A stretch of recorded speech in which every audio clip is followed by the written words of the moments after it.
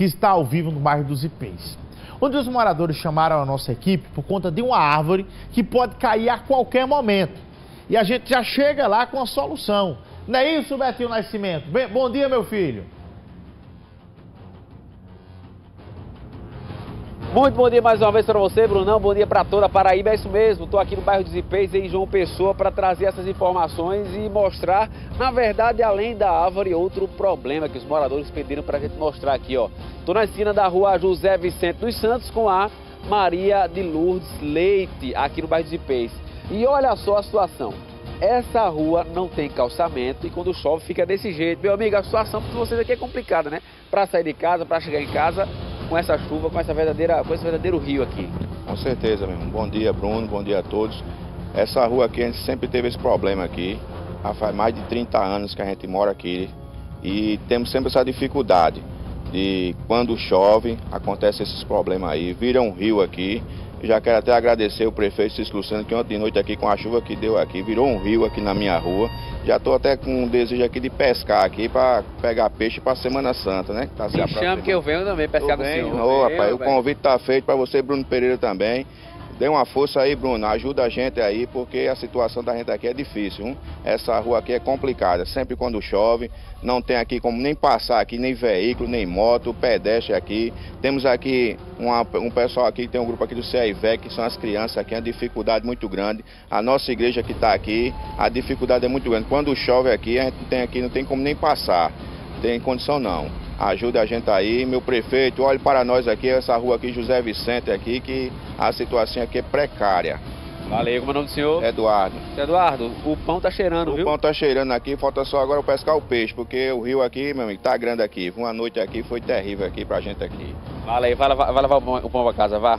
Vamos conversar com o seu Marco da Silva agora sobre a situação dessa árvore e também com o seu Francisco Pereira. Vem cá, Erivelton Lins o vento ali tocando para mostrar a situação desta árvore. A gente até está um pouquinho longe, porque a gente observa que a raiz da árvore está aqui para o lado de fora na calçada. E essa árvore está aparentando ser bastante pesada. Essa é a reclamação, né, seu Marco? A situação da árvore aqui, que vocês estão temendo aqui, uma verdadeira queda, né? Bom dia. Bom dia, bom dia, Bruno. Rapaz, essa árvore aqui, cara, é um perigo para nossa casa aqui, é, até para as pessoas que, que passam aqui, né, na rua. É, a semana passada, o vento forte que deu aqui, a gente ficou com medo de ela cair aqui em cima das casas, né? Aí a gente pede uma ajuda aí, um apelo aí ao prefeito aí para que ele veja aqui a nossa situação aqui na nossa comunidade. Ela apresenta algum, algum estalo, alguma coisa, dá para ouvir, é, algum, algum, alguma coisa perceptível dela que ela demonstra que vai cair? Rapaz, ela, quando o vento está forte aqui, ela, a gente sente né, o estalo, é tanto que a, as paredes ali já foi feita um reforço ali, ó, no muro, né? Fica rachando. Fica rachando. Aí é um perigo, um, um perigo aqui bastante aqui para nossa, para nossas casas aqui, dela cair aqui em cima das nossas casas e dar um prejuízo maior, né? Nesse tempo de chuva o medo aumenta. Aumenta, com certeza. A gente pede um apelo aí, um apelo aí ao prefeito, ao prefeito aí para que veja isso, né? É risco até a gente ficar aqui, né? É risco. Ninguém sabe é risco. se, ó, é. tá todo molhado ali, toda cheia de lodo. É verdade, e outra, em cima da rede, né? É, o fio aqui bem é, em cima da gente. É. Deixa eu falar com o seu Francisco aqui também, morador aqui do bairro de Peix. Vocês têm essa preocupação, inclusive vocês chamaram a gente justamente com esse medo, né? Aqui passam crianças, vê agora criança pra, passando para ir para a escola, idoso também para ir comprar um pão, assim como foi é, o seu Fernando, né? Agora há pouco. Como é que vocês observam o problema dessa árvore e qual apelo fazer para o pessoal da SEMAN que acompanha a gente agora? Bom dia.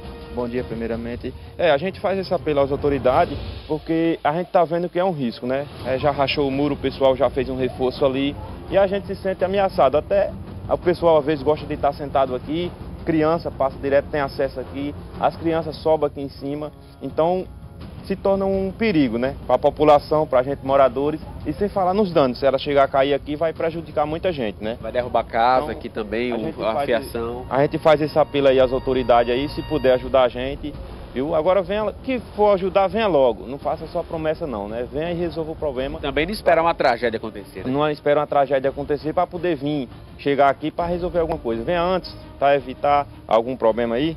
É verdade, esse é o apelo. Mostra ali, Erivelto, a raiz ali, ó. De fato, é, é, é, é, diferente, é anormal, né? A raiz da árvore está toda aqui na calçada, toda exposta.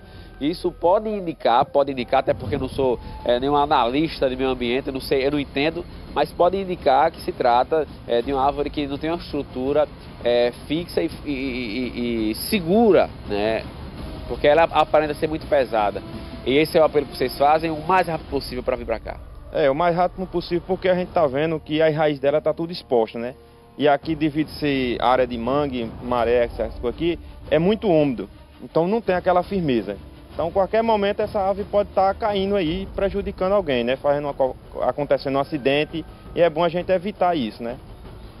Uma palavra à semana, Secretaria de Meio Ambiente. Bruno Pereira, volto contigo. Eu sei que o pessoal está acompanhando aí. Sabrina já está com a equipe da semana. Opa! Olha ali, olha lá, olha lá. Olha aí, morador aqui acompanhando a gente, Brunão. Veio pra cá acompanhar aqui a matéria de perto, a gente mostrando o problema da árvore ao vivo. Eu vou contigo, Bruno Pereira, e a Sabrina Barbosa tá acompanhando, inclusive, a matéria. Deixa eu falar com a senhora, deixa eu falar com a senhora. Daqui a pouco. Pera, eu vou falar com a senhora assim, rapaz. É o povo, ó. O povo Vai lá falar com ela, Betinho, por gentileza. Dá um abraço nela lá, Betinho. Vem embora, Erivelto. Sai debaixo da árvore, Erivelto. Muito bem, Betinho. Vem andando. Pergunte se ela já fez o cafezinho, Betinho. Deixa eu falar com a senhora aí. Tampe, deixa eu falar com a senhora aqui. Bom porque... dia, Betinho. Bom dia. Prazer. Prazer é todo meu. A senhora estava acompanhando o programa. Eu tava vendo a televisão agora. Quando viu a árvore, corri isso daí na porta. eu corri, tá na minha rua. E eu tava deitada na cama. Aí levantou correndo? Levantei correndo. Eu digo, eita, Betinho Nascimento, eita, Bruno Pereira. Pronto. Ó, minha casa é essa aqui, ó. A senhora mora aqui? É. Tava acompanhando Tribuna Livre? Oxente, tava deitadinho assistindo. Em relação a essa, boa, em relação, não, vai filho, deu tudo certo, oxente. E eu tô mandando um beijo pra ela, Betinho. precisando de vir mesmo, viu? Tá, Porque tá. tá faz até medo essa fiação cair ela e tá, acontecer. Tá cai, mas não cai. Isso aí. É melhor uma providência boa do que uma tragédia.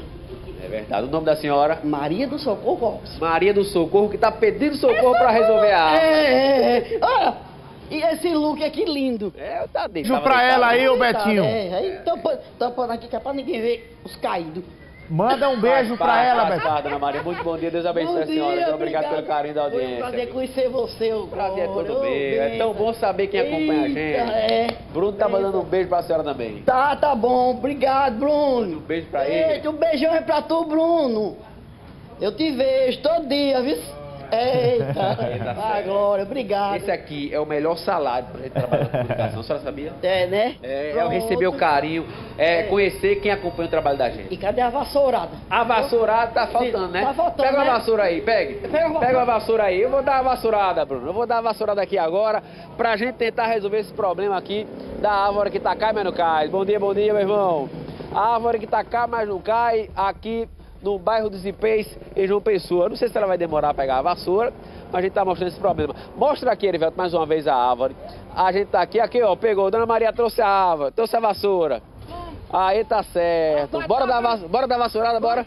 Dê a vassourada, vá. Olha, olha, olha, olha, pra sair tudinho. Vai dar certo. Vai dar certo, principalmente essa árvore. Essa árvore, vai dar vassourada é. na árvore também. Também na árvore. Quando sair todinho, eu vou pra lá. Pronto, aí tá certo. É a mulher da vassoura aqui é. do bairro de Peso, hein? Eita! Aqui são tudo bom, são todos meus pessoal, tudo bom aqui da, dessa comunidade. A gente da gente. Oxa, tudinho. Aí tá certo. É. Bruno, eu vou voltar contigo e a gente vai ter uma resposta agora, né? O que vai acontecer com essa árvore. E quando resolver, a gente vai aqui, não é na vassourada, né? A gente vai comemorar.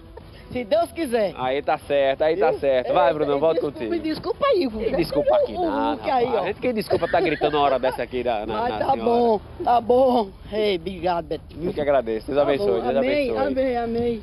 Vamos lá, eu vou pra ali, pra perto do pessoal. Se a senhora quiser vir também pode vir, porque a gente vai ouvir agora a resposta do lado de quem pode resolver, né? Que é justamente a Secretaria de Meio Ambiente pessoal está na vassourada, chamando a atenção. A gente mostra a árvore aqui que está cai, mas não cai.